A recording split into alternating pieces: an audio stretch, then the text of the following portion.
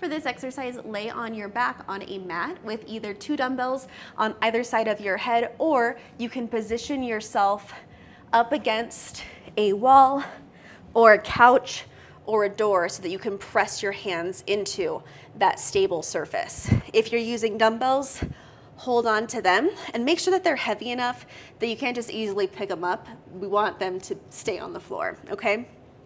From here, let's get into position by first focusing on engaging our core. Inhale through your nose, and now exhale and suck a blueberry up through the base of your pelvic floor, all the way up into your belly. Wrap your rib cage in and down. As you breathe, you should still feel tension here through your abdominals, okay?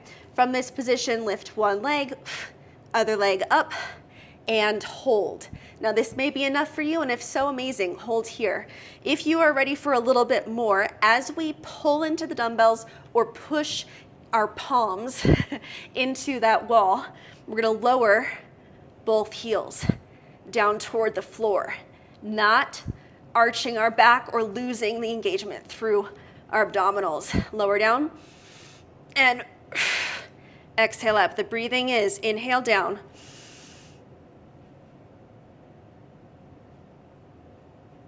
exhale up. Take this slow.